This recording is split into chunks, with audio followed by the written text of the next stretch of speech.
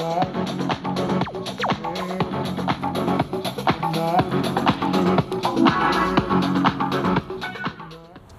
up guys? Welcome back to the channel. And uh, let's just get right into it. I just want to say this wheel is it's really amazing. Now it's the same speed, pretty much a little bit more um, top speed than the 84 volt, but it's pretty much close. I love this wheel. Um, I wish it was I wish it was able to do 45 miles an hour, but it wasn't. But that's okay. Um, it does do a little bit, like I said, top speed than the 84 volt, but I wouldn't recommend it. I think the most important thing about this wheel, like in every other review, is the torque. There were certain little hills I was able to climb with no problem, and I weigh 180 pounds, and I mean, this thing just eats it up. There were some hills that were pretty steep toward the end, um, but overall, this wheel is, is it's very torquey. The speakers are awesome. The light is the best. I took it for a ride in the night and it was beautiful. Check the link in the top. And I mean, besides the bulkiness, which can add a little bit more uh, learning curve to your learning if this is your first wheel, it's fine. And one thing I love about this wheel is the the left pedal. I, I like this feature right here. This feature where the pedal gets stuck and it's really hard to, you know, pretty much put up what I usually do is this. You know, I hit it down and then I do this, okay? And then I lean it. That's pretty much how I get that effect. Like that. So that's a cool feature. So the left pedal, if you kick it down hard enough, it, it's stuck. You know, it, it, it feels like it's stuck. So basically you can lean it on one side, which is pretty cool to be honest, instead of laying it flat on the floor and scratching up the wheel, you know what I mean? I think that's a really cool feature that Gotway decided to add in there. I don't know how they came up with that, but that's awesome. Like, I'm not sure if people requested it, but I think that's a great addition. Now, if you look at the um, channel, I think it's The Wrong Way or Wrong Way. Um, if you look at his channel, you can see how powerful this wheel is. I weigh 180. I don't really climb a lot of hills, so you can check his channel out. You can also check out Kuji Rolls channel for how crazy this thing is off-road.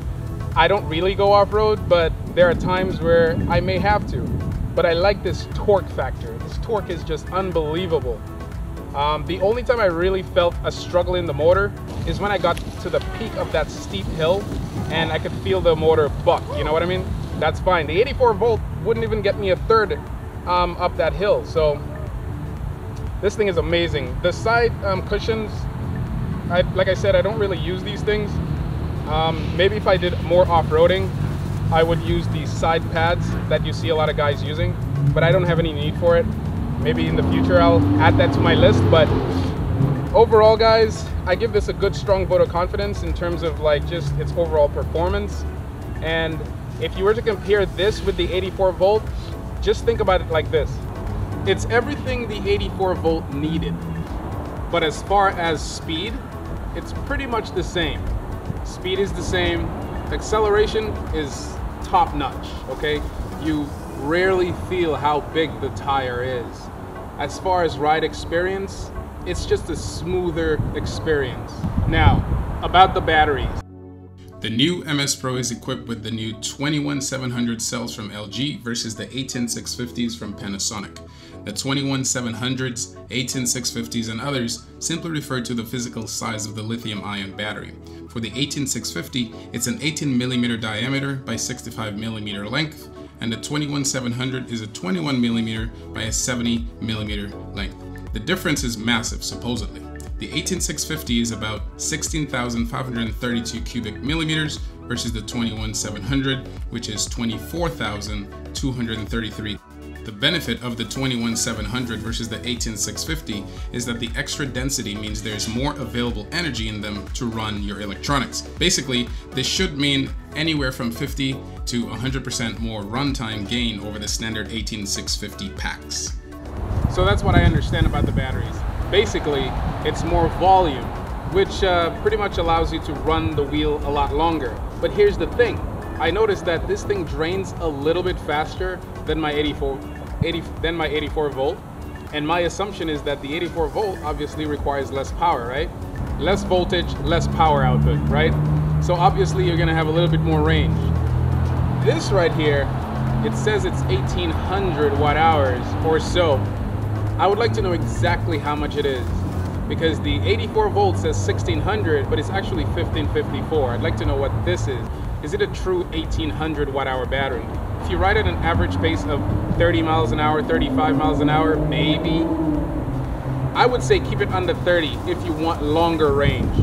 But if you're if you know your distance, if you know where you're going and it's not too far, I have yet to do a range test on this to see how far it can go at a high rate of speed. But usually you would imagine less than 30 miles if you're gonna push 36, 37 miles an hour. You know what I mean? Forget 40 miles an hour. You're not gonna go that far. But for little bursts of speed in, in your city, for example, you could do that all day, I think, in good temperature. Right now it's close to 50 degrees, so Fahrenheit. So you can expect to get, I don't know, maybe 24 miles um, on and off doing 40, 39 miles an hour. But yeah, this is a fantastic wheel. Uh, I can't say much more about it. The 84 volt is an amazing wheel. It's a great wheel. But this comes with additional features such as the switch, um, the speakers, similar to the um, uh, Tesla actually. They did, they did to the MSX what they did to the Tesla. So the Tesla didn't have certain features and uh, eventually those features became available on the Tesla version 2. It's the same with this. The 84 volt was lacking in some areas, especially the, the torque, and they really accomplished it with this wheel. In addition, they added the features that we were all asking for, right? So the lift switch, the speaker, and the torque. And um, like I said, that little addition that they added, the pedal, just top notch, man. I love that. Now this little park I come to every now and then if I want to test test out a new wheel and it just ate this place up. The road here is pretty slippery because of the, the um, rain. It rained all week. So, but it had really good traction. I didn't fall. So guys, more reviews coming up. This wheel is amazing and I purchased it. So it's a demo wheel, but I, I contacted Jason and I said, hey, can I have it? And yeah, he said sure. So it's mine and I feel good because I crashed it, so it's mine. So I'm probably the first one to have the MS Pro. That's pretty exciting. So um, maybe not, maybe not, I don't know. Because I looked on eWheels and it says deposit of 500. My assumption is not it's not available yet, but this thing is ridiculously amazing. And uh, I found, so the other day you guys saw the video where I tried to um, uh, pretty much adjust the calibration. I tried calibrating it, calibrating it uh, similar to my 84 volt, but I actually needed to calibrate it a little bit higher, so maybe two to three degrees more than my 84 volt. I'm not sure why, but it feels great now. It feels perfect now.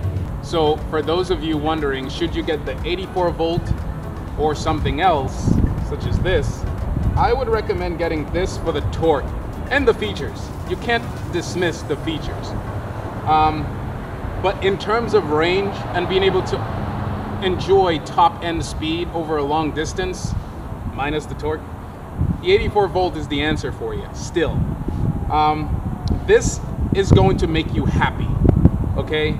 If you're an off-roader, if you're someone who is very light and you like to climb hills, or you're very heavy and you'd like to ride at a high rate of speed, this is a good wheel for you. The only problem, like I said, is if you decide to do the top end or acceleration constantly, um, this is probably gonna disappoint you. The 84 volt is the answer. So guys, with any new wheel you get, do at least 200 miles of testing, 200 miles of just riding normally. Um, don't push it too much so you can really get the feel of it. If you've had an 84, 80, 84 MSX, you're gonna need to have a little bit more riding with this because it's heavier and bulkier. So thank you guys. See you next time. Oh, no, no. Babe, that is nothing. Can I go down there, please? Okay, it's nothing, I'm telling you. Seriously. Get out the way!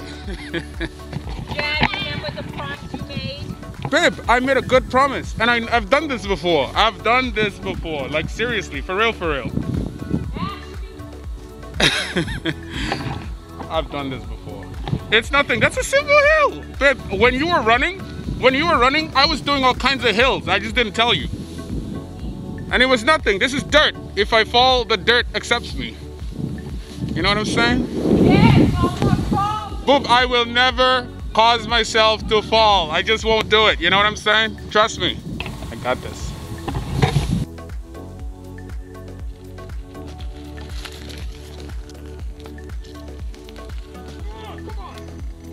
I, got, I gotta go fast.